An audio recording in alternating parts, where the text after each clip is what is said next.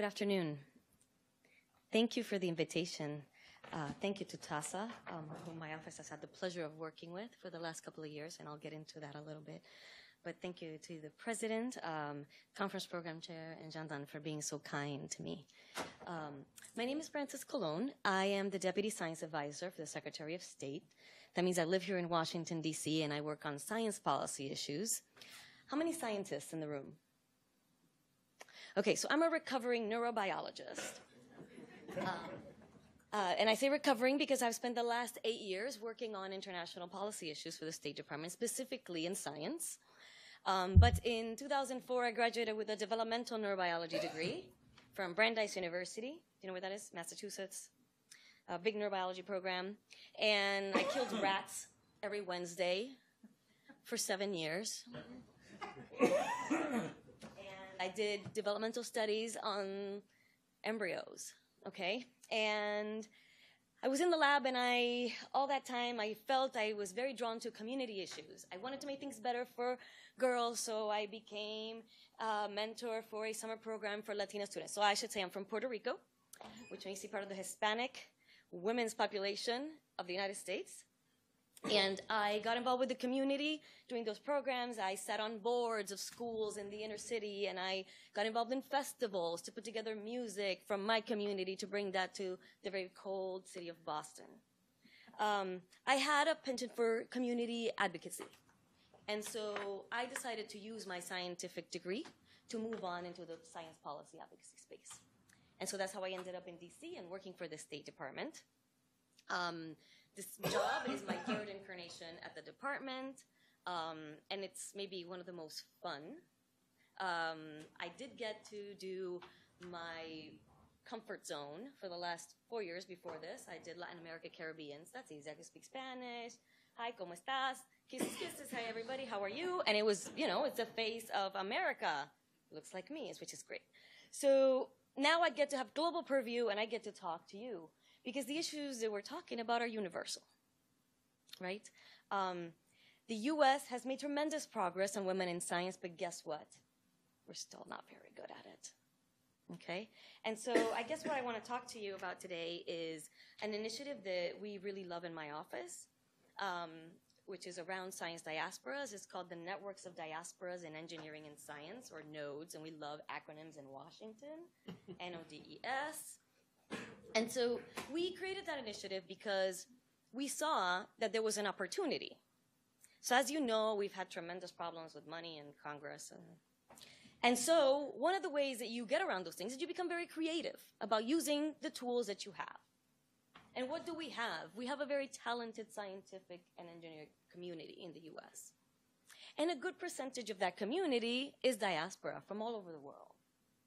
And if you want to get at some of the um, global challenges, technological challenges in countries around the world, you want to apply the best and brightest minds to those problems. And some of the best and brightest minds that can solve the problems in our countries and regions of origin are the very diaspora that come here to study or work. They have expansive academic and business networks, okay, and are eager many times to help their countries and regions of origin more than anybody else know the countries and regions of origin better than all of USAID could possibly ever dream of. And so the impetus behind this thing was to try to bring the science diaspora together, um, find where those champions were. The job with TASSA was completely already done, but TASSA became a very important model for us in getting other diasporas to gear up. Okay, so I can tell you how many times we've had TASSA on panels um, incentivizing other diasporas to get their act together around this very idea. I can tell you that we've actually been, I'm supposed to move this so I can tell you. Okay, here we go. Okay, so told you about nodes. The partnership involves the American Association for the Advancement of Science, the National Academies of Science, and the Department of State. Okay, so it's public, semi-autonomous, um, governmental, and um, think tank, sort of private. Um, and I already told you why this is important. I'm not going to go through the list. I don't want to bore you. Um, but I want to tell you that TASSA has been an amazing model. And in the last two years since we launched Nodes, where we've pushed the TASSA model for other diasporas to kind of get a sense of what's possible and what they can do, we've actually seen two countries launch dia- science diaspora networks. And even more important, which is where you want to get, have those diaspora networks in the US influence policy back home, which is where you want to be. Colombia is a signature case. Um, Colombia had a lot of diaspora at Purdue University. One of those diaspora um, decided to launch the um, Colombia, a university in Colombia, Columbia University, and Purdue network. This network has expanded so much that it began to influence sort of the, the poli- scientific policies in Colombia.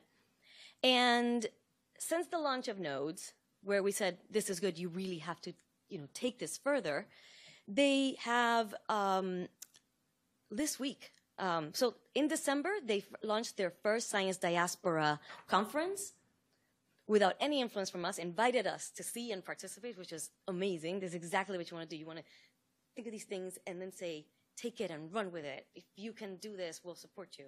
And they did. They brought together their entire scientific diaspora community in the US in Boston. And last week, launched their first um, public policy incentive program for bringing back some of the scientific diaspora to take positions in their academic institutions, et cetera. None of that to say None of that to say that bringing back diaspora is the point of any of this. I very much believe that at the heart of using your diaspora is brain circulation, being able to have strong networks at home that connect with the networks abroad, wherever those may be, not just in the US. That if, that if you have strong policies to bring back, that's great, but that those networks thrive and are able to do things virtually. Because today, with the speed of communication, with virtual access and connections, you can have students coming back and forth, you can have classes taught virtually, and the endless uh, realm of possibilities for dia- scientific diasporas is out there to be able to help make things a little bit better. So, what I'm showing you is actually if Facebook plots their connections of all of their users, this is what it looks like.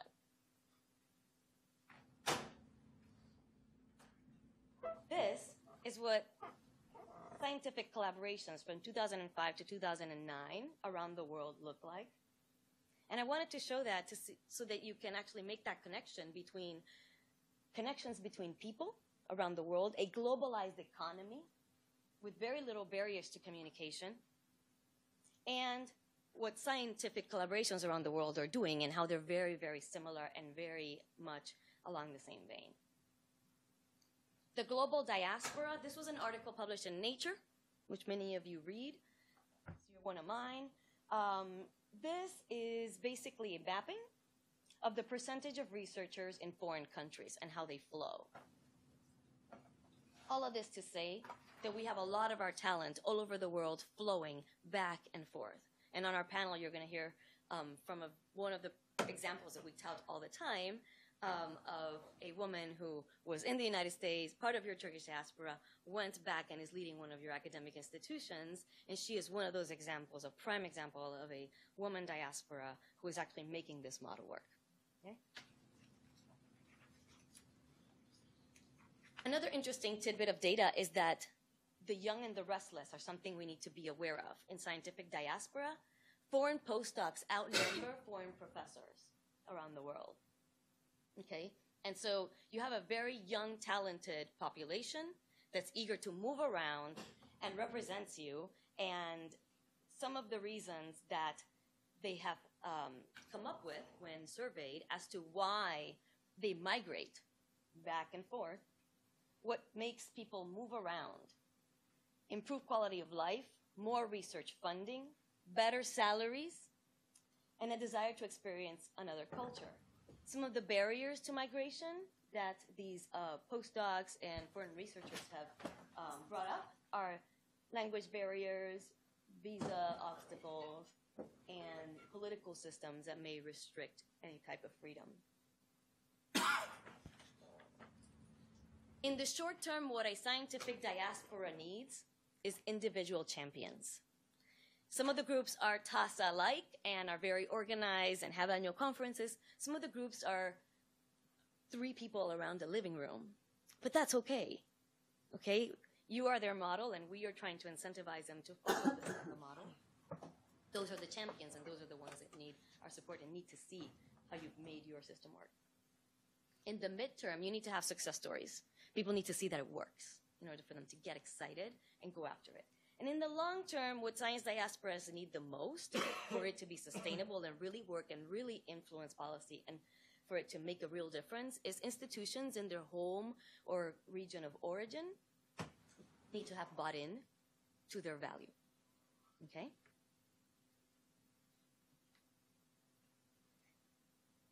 So, how much time do I have, John? Perfect. Um, women are beneficiaries of this diaspora talent. They are part of this diaspora talent, and they are part of this um, population that we cannot behind, wherever they are in the world or whether they're at home. Um, we have learned a lot of lessons from trying to advance women in science in the United States. And I think you're probably going to address some of those from the perspective of the National Science Foundation, which has done a lot, but many programs in place that we're still learning from. There is a lot that we still need to do. Um, but I am really heartened. I speak on women in science and STEM issues all the time. I speak um, from the perspective of a woman science leader in my government, but also from a woman Hispanic leader in my community who is in a STEM field. And here in the US, having a woman with a PhD who is a Hispanic and representing her community is very much, let's say, a rarity, okay? It's not very common. Um, so I honor my community and what I do, but I also honor my country and what I do. And I recently went to Arizona because Intel, the computer company, brought me there to speak to a room like this full of middle school girls. And I spoke about my story and how I came from Puerto Rico and it's really warm and the beaches are really beautiful. And I went to Boston and it was snowing and they towed my car the first week that I was there because it was a snowstorm. And I had no idea you can't park on the street when there's a snowstorm. All of that to say that many years later, all my sacrifice paid off to bringing me to a point where I could use my science for the benefit of my people, the American people, women, diasporas, and my Hispanic community, which is, I'm sure, very much what you do for your community. Um, when I exited the room, there was a little girl, let's say she was about 12 years old. She was crying. And her guidance counselor from her school approached me and said, May I speak to you? My student would really like to meet you. And she was sobbing, so I went over there. I had no idea why she was sobbing. And I said, Hi, ¿cómo estás? Nice to meet you. Um, what's going on? Did you like the talk? You know, and she said, I loved your talk. I have always thought that I wanted to be a computer scientist. I want to code. I want to learn how to code. And I have no idea how to do that. I have no idea who to go to. I have no idea who to talk to. You're the first scientist that looks like me that I've seen in my life. Tell me what to do. And that right there is, it makes your day, it makes your year. Um, of course, I, I knew exactly what to tell her to do. There's girls who code. There's so many programs. They travel around the country. There was Intel has programs, and her guidance counselor just needed the name of a program and how for her to apply. Um, it made my day. That's why I do what I do. I'm sure that's why you do what you do to mobilize these communities and to bring those resources to your community. So thank you for having me. Thank you for having this panel. Thank you for doing what you're doing for your girls and your women. It's very important and it makes all the difference. And we're here to partner with you. Thank you.